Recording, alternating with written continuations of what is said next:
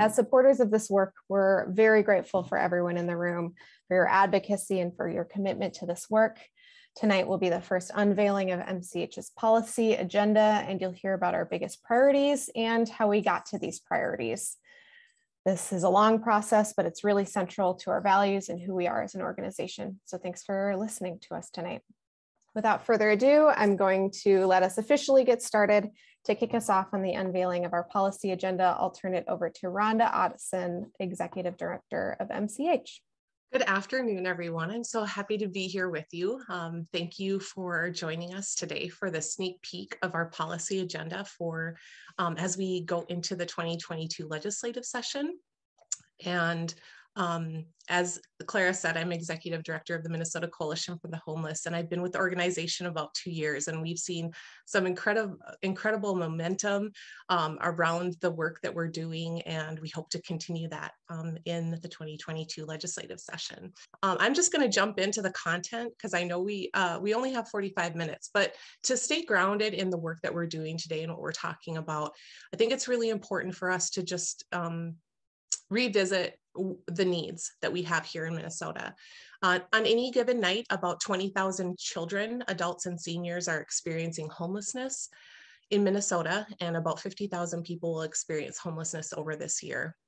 About half of the people experiencing homelessness are children ages 0 to 17 and youth um, aged 18 to 24. Black, Indigenous, and people of color are significantly overrepresented in, in the homeless population, as well as the LGBTQ population. And homelessness occurs all across our state. Um, in metro areas, in suburban areas, and also in rural areas, which is where I live. We know that there's a great need for shelter and homes in Minnesota. In um, 80 of 87 counties, uh, they lack enough shelter uh, beds to meet the need. And in some areas, shelter may be up to 100 miles away or even further. Um, as far as homes go, we know that shelter saves lives and housing ends homelessness. So when we're looking at the stock of homes here in Minnesota, we currently lack over 50,000 homes uh, to house the people we have in Minnesota. And we need to build 300,000 homes by 2030. So that's a really big goal. Um, another um, need that that points to just how deep the need is here in Minnesota, especially for affordable homes. Um, is a Section 8 program, which is a federal pro housing assistance program. And those waiting lists to get onto that program range anywhere from a year to 10 years. And in some areas, waiting lists are closed. Um, so that just kind of shows just how deep the needs are here in Minnesota. Um, now I want to talk a little bit about what we've been able to accomplish, you know, with you, with our partners, with um, organization, with advocates, with people with lived experience. We've been able to achieve so much. In 2020, um, as the pandemic um, emerged, we had to very quickly shift with our partners um, to some key policy priorities that were really life saving for many people. The first one was the eviction moratorium. We advocated with Homes for All for that. Um, the second was $26.5 million for the emergency services program. We'll talk about that more later about the need for that. But that was really critical in providing the staffing, shelter operations, and motel vouchers across the state for communities um, to meet that need, especially as shelters were depopulating and moving some of the most at risk people into um, motels. Um, and then a five and a half million for the housing supports program, which was a really crucial program um, for people experiencing homelessness. A $100 million for housing assistance, especially for people who were unemployed and couldn't work during that time. And of course, um, like I said before, shelter saves lives, housing ends homelessness, $116 million investment to preserve and create safe and dignified homes across the state. So um, well, 2020 was an unusual um, an unprecedented year in so many ways. And that's why you'll see that return on investment for every dollar invested in our mission, we help to return $413 um, in the housing space to address homelessness and create housing stability across the state. So for 2021, um, those policy achievements, we continue to push um, on uh, shelter um, in those operations, as well as um, making those investments in homes. um, 12 million for the emergency services program uh, to fund staffing, motel vouchers, street outreach, and operations. That's that key source of funding that shelters um, and communities really depend on to create safe emergency shelter. Um, a $19 million inc uh, increase in shelter infrastructure improvements. So shelter capital, you'll hear us talk a lot about, but those are investments in the bricks and mortar of creating those new spaces um, because we have a lack of shelter. Um, increased funding for the housing supports program that really serves some of the most at-risk folks. Um, and then a really key policy change to the housing support program. Previously, people were only able to be absent for 18 days from their unit. Um, and this policy change made it possible for people to be gone from their unit for more than 18 days. And this really mattered, one, because with the COVID 19 pandemic, people were seeking healthcare. But if people wanted to seek um, help for mental health treatment or addiction treatment, they weren't able to uh, keep their housing. So, this was a really crucial um, change that we were able to achieve with our partners. Um, an, another $10 million federal allegation to the emergency services program.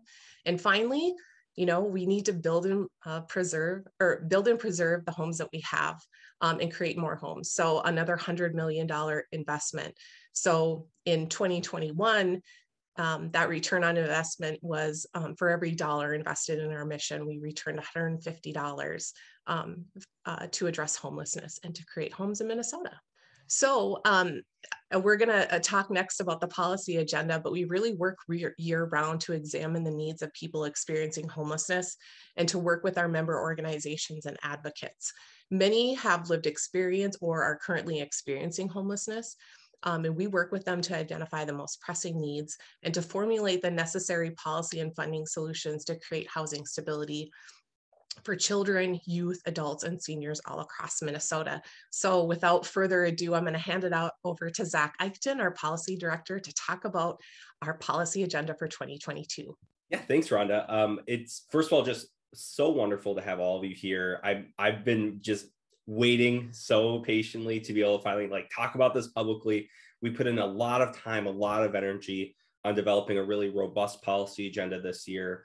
Um, and the way that we're looking at it is really through the lens of what is what is an individual's experience as they go from homelessness into permanent housing, um, and what does that journey look like? Um, how do we look at that in a way that keeps people safe? It's a it's a short time in homelessness. It's dignified. How do we um, work towards that goal of you know quickly getting people out of homelessness? Um, and really, to do that, we really look to our community to inform us as we make these decisions on our policy agenda. So, the first thing that we want to talk about is the task force on shelter. I'm sure a lot of you uh, may be aware of what uh, this is, but uh, the task force on shelter was something that was brought originally to the Homes for All coalition um, from folks with lived experience uh, who want who wanted to make the shelter system better um, and actually uh, attend to the needs of folks who are experiencing homelessness. And what ended up happening was there was a bill that was passed establishing this task force on shelter um, that brings together community leaders um, to develop some recommendations that actually work towards strengthening our shelter system and providing the needs uh, that, that folks have um, and, and actually addressing some of those needs moving forward. So there's some initial recommendations that come out um, early March of this year, final recommendations coming out in uh, August of this year as well. Uh, we're going to be supporting that work and working to make our shelter system um, a more welcoming environment for folks. Uh, that said, the next thing that we have on our agenda is actually increasing the availability of shelter. Um, right now, as Rhonda mentioned earlier, 80 of our 87 counties just don't have enough shelter beds to meet the need for their community. Uh, so we did a survey this uh, fall that asked our partners to let us know what their needs were to create the shelters uh, that they feel that they need in their communities. And we got over $90 million worth of um, requests or, or uh, you know, uh, RFPs, if you will. Um, and we're going to be advocating for 75 million. There was already 15 million uh, that Rhonda, or 19 million that Rhonda mentioned earlier about um, that that's already getting released. So that's uh, approximately the the remainder is at 75 million dollars. Um, and we're going to be working to make sure that this goes everywhere in Minnesota, greater Minnesota, suburbs, and metro areas, because everybody deserves a place to lay their head at night. The next thing that we have on our agenda is actually supporting those shelters that we create. Um, and to do that, the best, most flexible way of doing that is through the emergency services program. Now, ESP is a funding stream that is super flexible. It can be used for a ton of different great things shelter operations, transportation, childcare, medical care, it, a whole bunch of really great things that allows for local providers to come up with local solutions to homelessness. So we know that homelessness looks different in different parts of the state. Sometimes, you know, getting a, a, ride to a job interview is what's really needed. Sometimes it's having someone watch your child while you are able to uh, go go do something else. Um, sometimes it really just is operating a shelter. But what we need is the the flexibility to actually do that and support the shelters that we have and that we're creating. So an ongoing investment into the uh, emergency services program is going to remain on our agenda going into the 2022 policy session. Uh, the next thing is uh, on our policy agenda is what does the world look like as folks transition from homelessness, they exit homelessness into permanent housing? For a lot of folks, this includes a stop on a time limited housing program uh, in order to gain some stability and uh, really recenter yourself uh, as you move into a permanent destination. One of the programs that does a really great job of this is the transitional housing program. So what we're going to be asking for is uh, a $9 million investment as well as some policy changes. So those policy changes that we're going to be looking at is cleaning up the language uh, in that statute to allow for folks to be able to stay on that program from uh, instead of 24 months, which is two years, seems like a lot, but it's really not enough time for folks to get really established. And changing that up to three years so that people feel that there is enough time for them to really get settled back in uh, to the swing of things get some rental history, um, and be able to make a, uh, a good transition into permanent housing. Additionally, there's a $6 million roughly uh, shortfall between requested funds and funds available in this program. We're going to be asking for $9 million so we can cover that shortfall, as well as that extra $3 million so that we can uh, support that increase from 24 to 36 months. Um, we're really excited to be working in this space. Um, transitional housing is something that's desperately needed so that people can transition effectively into permanent destinations. And finally, permanent destinations uh, is super critical. We know that shelter saves lives and housing ends homelessness. So we have are, are going to be advocating along with the Homes for All Coalition. Um, we're super involved in that. If you didn't know, uh, we have a lot of uh, leaders uh, from that coalition in this call right now. And we're going to be advocating through that coalition for $400 million in housing infrastructure bonds to build more affordable housing, as well as $100 million in general obligation bonds to preserve our public housing stock. Um, we need to do both. We need to build more and preserve the uh, naturally occurring homes that we have in order to fully address our affordable housing shortage. Um, we're going to be advocating for that full continuum along with the uh, Homes for All Coalition. Um, and I just want to thank all of you for being here to support us in that work. We really can't do it without you. Um, and we have a really great agenda because of all of the work uh, in community that we're able to do because of your support as well. So uh, thank you. And from there, I'm actually going to turn it over to uh, Matt Trainer, who is our director of organizing here, to be able to talk about how we got to this really great policy agenda. So over to you, Matt. Thank you, Zach. Um, so um, I want to start out by just saying like during non-COVID years, it's a disclaimer for everything, but typically we would be traveling throughout the state and meeting folks where they're at. Uh, so we weren't able to do that as much this year, but we did get sneak a few in before the Delta variant really became even more of an issue. So um, and I just say that because these how we did the listening sessions were a little bit different this year. They were still great, uh, but we did do it a little differently. Um, and I also want to say our listening sessions do more than just set our policy agenda. Uh, they really allow us to get grounded in, in the work and make sure we're looking at this as a people solution, not just data sets, right? We need to make sure we have that urgency level as advocates. And the best way to raise that urgency level is by directly talking to folks that are experiencing homelessness. And I know there's multiple people that are attending that let us uh, attend and talk to some of the uh, folks that you're with. So thank you for that. But I also want to read a couple of these quotes to just show how it does ground us in our work. Uh, the first one is I hope someone listens because this is not working. I waited so long for my family to get help. The other one is I wish everyone could understand what it's like to be without a home for my kids. We're good parents, there just isn't help. Our listening sessions, we uh, did do uh, uh, six events that were specifically for folks with lived experience.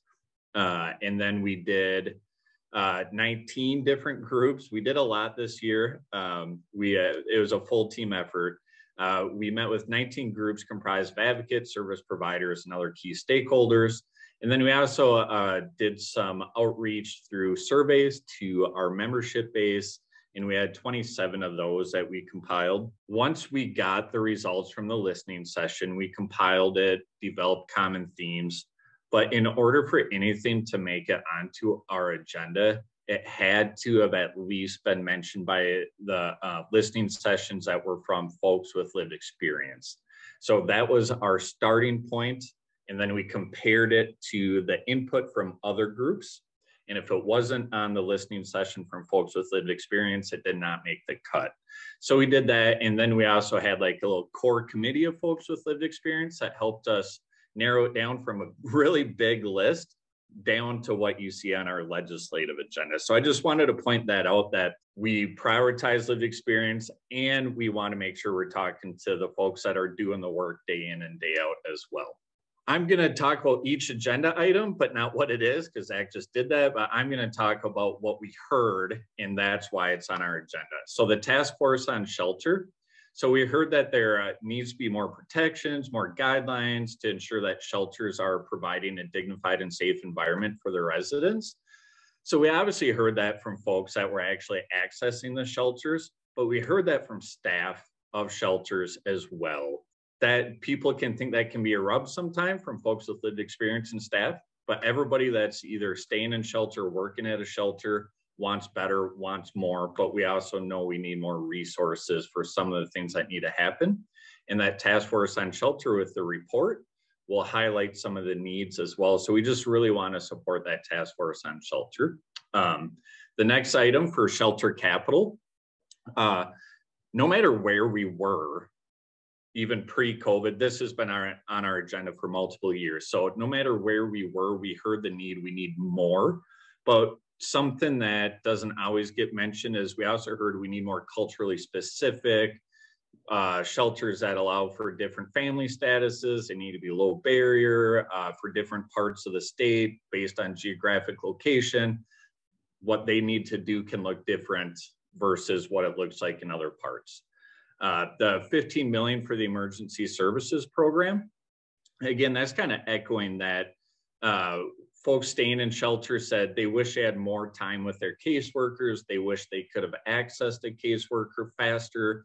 They wish there would have been more outreach to get them to the shelter so they knew about it.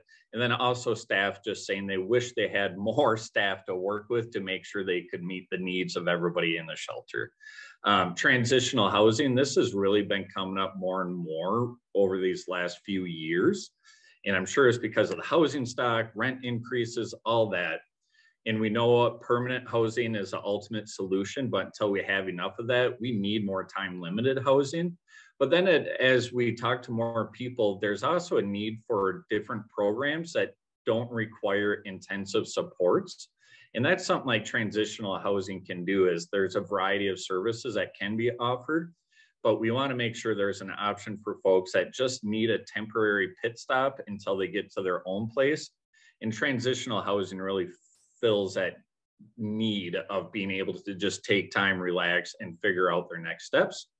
And then I think the most self-explanatory one, the 500 million bonds for housing, no matter again where we were, there's not enough affordable housing or the public housing that's there isn't in the greatest of conditions. So we know we need more money to develop housing and to fix a public housing that we have. Keep in mind domestic violence shelters as well. That's an eligible use, youth shelters as well. So it's not just a lot of times people think of shelters just congregate shelters, but shelter capital is much more than that. And different communities can get really creative with it. Thank you, Matt. And thank you, Zach, for walking us through all of that good information. As I'm sure you all just heard, along with me, our community partners and folks with firsthand experiences of homelessness and those perspectives are those are the perspectives that we really strive to strive to amplify uplift and honor in our work so as you heard partners are a key part of making this happen and making those connections and with that being said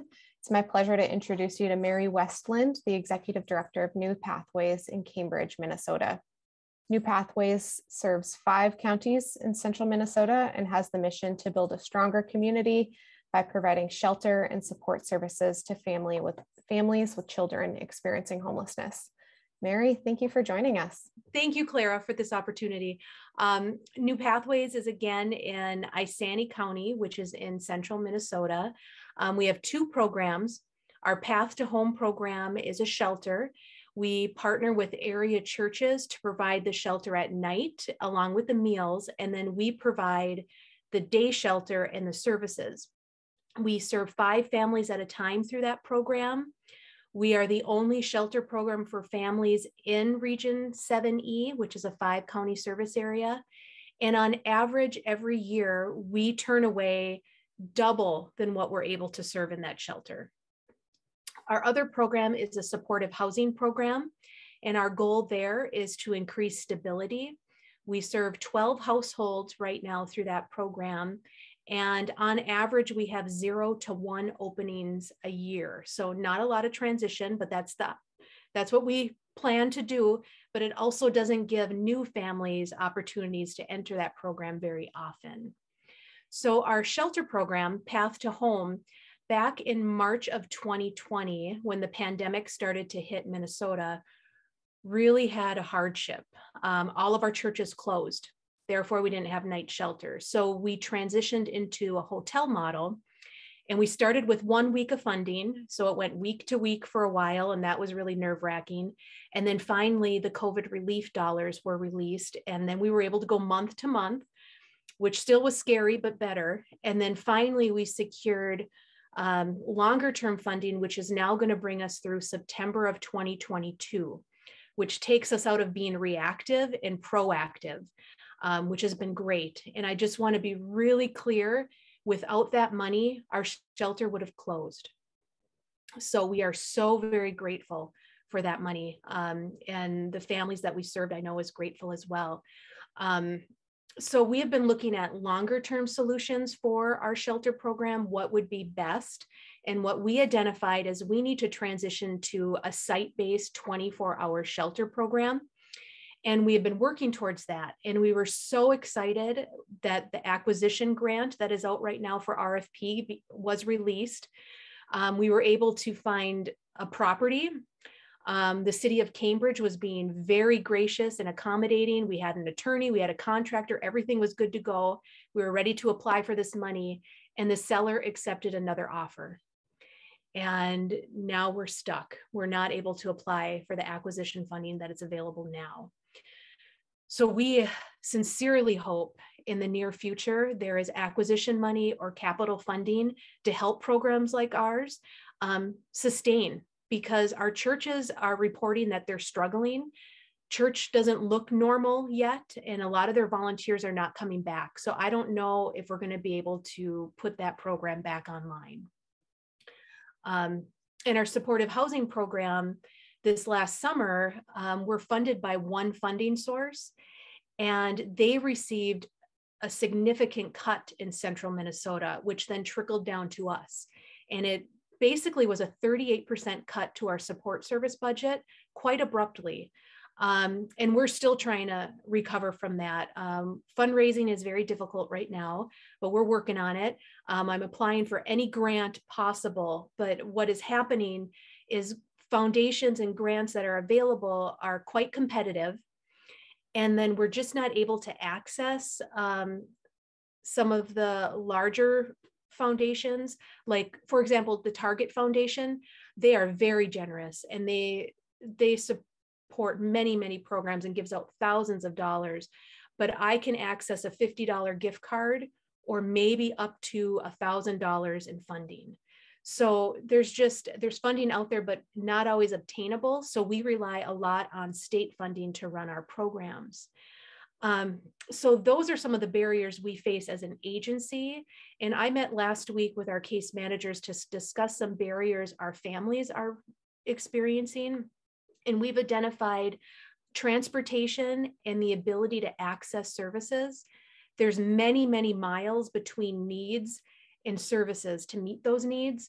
And even if a family has transportation, they may not have the gas money or they may not have a vehicle that works well. Um, so there's a lot of difficulties around that. And families also have, they may have difficulty or limited ability to contact service providers, whether they, they might not have a phone that has internet or really good service.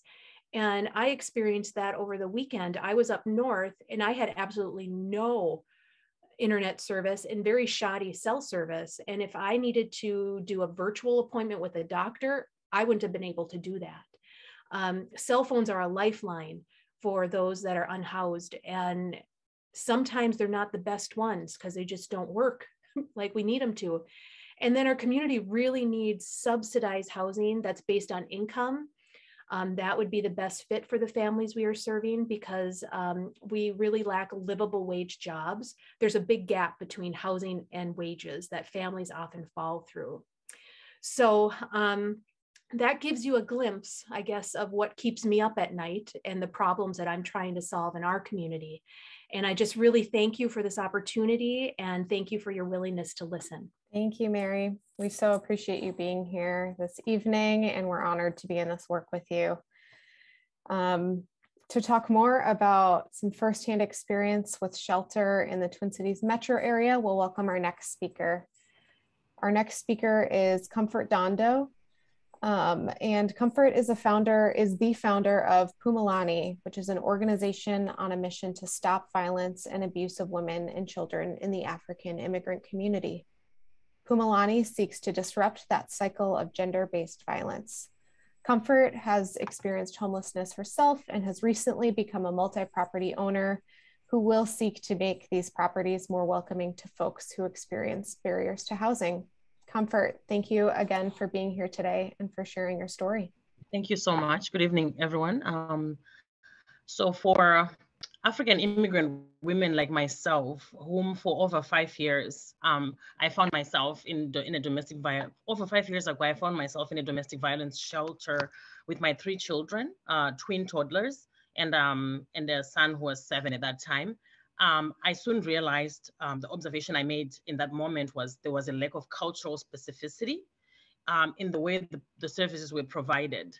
Um, it was a journey that would take me on a path um, that I would um, later on research on my master's thesis pro, uh, project on why a lot of African immigrant women did not stay in shelter.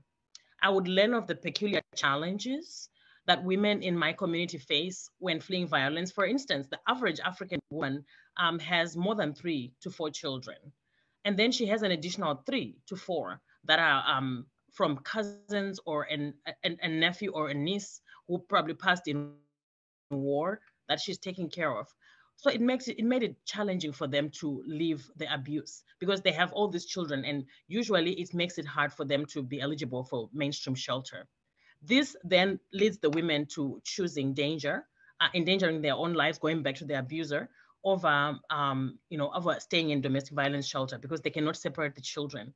I, like the women I currently serve right now, face um, faced some of those challenges and more. Being homeless for over a decade, um, you see, in a, despite the strong quality network of uh, service providers in Minnesota, um, we have um, a, a, lack. We have the lack of cultural specificity in terms of um, domestic violence programs. Um, and I'll speak specifically for the Black community. We are often lumped up, even in research, we are lumped up as just Black, as monolithic, but we come with different, um, um, you know, we come with different challenges. African immigrants, we have peculiar challenges compared to, let's say, Africans who were born here. And so they, we realized that there was a lack in that. For example, African Americans comprise of 12% um, of the Hennepin County residents, Yet DAP, one of the most amazing service providers, um, advocacy, they have um, at least 43% of African Americans. These numbers are proof that there's a disproportionate need within some historically marginalized community. According to the 2020 uh, American Community Survey, about one in five Minnesotans um, um, are African. Of the 50 states, Minnesota has the ninth largest um, population of the African immigrants. Um, and so about 60% come from East Africa nations, Somalia, Ethiopia, 25% from West Africa, and the rest from other southern regions or Central Africa. We have a large population here in Africa. Um, and although there's a clear need of the cultural specific programs and those gaps, we still have, we still do not have enough resources for the African immigrant community and, and, and programs that offer culturally specific programs uh, for, for women fleeing abuse. Um, I often um, realize that in my experience, um, one of the barriers was the red taping that was always put when I tried to access services. For example, I'll give you a story. When I was doing my master's, I did not look like the stereotypical um, individual who might have been facing homelessness. I was pursuing my master's of public affairs at the Humphrey. And yet, when I applied for apartments, for example, uh, I couldn't I couldn't get into an apartment because um, of some barriers and some challenges that I had faced because of my mental health and also the domestic abuse. So having shared this story, um, I want to say that um, I my story changed when I had a good Samaritan uh, re- remind me of my dignity and respect, which is why I wanted to share tonight that um, I think we some of the recommendation is to always think about the dignity and respect of those facing or experiencing homelessness. I would like to recommend that following my story, if a woman like myself four years ago was homeless and now own multiple properties and actually providing housing for women and children in, in my community, um, if we could do that for more people, it would, it would make a significant impact. Um, I want to say second chance works. People transform when given the right tools, especially dignity and respect as the center. They can rise above the challenges. I am proof. Community and survivors of homelessness centered policies, we need um, community centered and survivor led policies that are practical to the community. Because I experience homelessness and sometimes I would go through a shelter system and I'm like, who made these rules? They're not making any sense to me. And so I think we have to really look and evaluate the red taping that happens with some of the programming ensure that we're putting survivors in the middle first. I also want to encourage funding um, that offers uh, that offers um, opportunities for historically underserved communities. And I want to say, as my my, my colleague um, Miss Westlund um, shared, she's I think she's in rural Minnesota. So I want to say historically marginalized and also those in the rural, uh, because those communities do have their own solutions that are peculiar to them. And in ending, I want to say um, getting rid of um, homelessness is possible because I come from a place and a country and a continent where there's not um, enough resources or democracy. And I believe that in Minnesota it's possible. And thank you so much for giving me time. Uh, and again, I repeat, I am proof. I cannot believe that four years ago, I was living out of my car, storage units, and cheap motels. One person believed in me and gave me a place to start afresh. And I hope that uh, collectively as a state, we can do that for, for, for, for the, those communities that are mostly impacted. Thank you so much. Thank you, Comfort. Thank you so much for being here and sharing your story, your perspective. We are very excited to amplify your mission and know that our shared vision towards ending homelessness is stronger because of the work of both you and Mary. So thanks to both of you for being here. Thank you, Claire. And thank you um, to Mary and Comfort for sharing your perspective, what you're seeing in your community, um, and just the need for shelter and for the resources in our community that are culturally specific, um, that are um, tailored to community needs. And um, we are all about amplifying uh, the voices of people with lived experience and people all across the state um, who bring the solutions um, now when we build a movement together, we can bring the resources to ensure that we can end homelessness and ensure housing stability across Minnesota. And so we want to invite you to advocate, advocate with us this upcoming legislative session. Um, please mark your calendar for vir the virtual Homeless Day on the Hill, which will be kicking off on March 9th um, with the program and of course uh, visits with our legislators. Um, I know some of you um, I'm seeing on, on the Zoom call um, have advocated with us for years um, on our, our, policy priorities and I wish we could gather together um, because uh, Homeless Day on the Hill is just an incredible energy builder. Um, but we're going to build energy online again this year. Um, so I hope you'll join us for that. Um, you'll see some emails uh, from us about how to get signed up for that. And if you go to the next slide, um, we also have additional advocacy opportunities. If you're on social media, please follow us um, on Facebook, Twitter, or Instagram. Um, we'll have a Twitter storm or tweet chat during virtual homeless day on the hill. And also we partner with Homes for All to build energy around housing um, and all those shared priorities that we have. Um, you know, the relationship building with your legislator, we tie that in with virtual homeless day on the hill, but that's really critical. Again, we need um, we're nonpartisan. We need Republicans, we need Democrats, we need everybody working together to um, help secure the policy and funding solutions that we know work. Um, and so when we have a movement and advocates all across the state with those relationships with their legislator, um, we can get those wins at the legislature. Um, you know, um, if you're, I'm sure you're on our e-news, that's probably how you got connected here. Um, and so watch that for our announcements on getting signed up for a virtual homeless day on the Hill and also our action alerts throughout the session. We have um, an online software that makes it really easy um, to send, um, for example, an email to your legislator. Uh, you can join in with Homes for All. There's always room for folks on those teams. And on our website, we have a Be Informed uh, tab. So um, www.mnhomelesscoalition.org. Um, there's a wealth of information on our website. And so, um, you know, as we kind of transition um, back um, into the Q&A, um, I just want to thank everybody again for being here. And we're really excited for this upcoming session Um, and what we can achieve together with your help.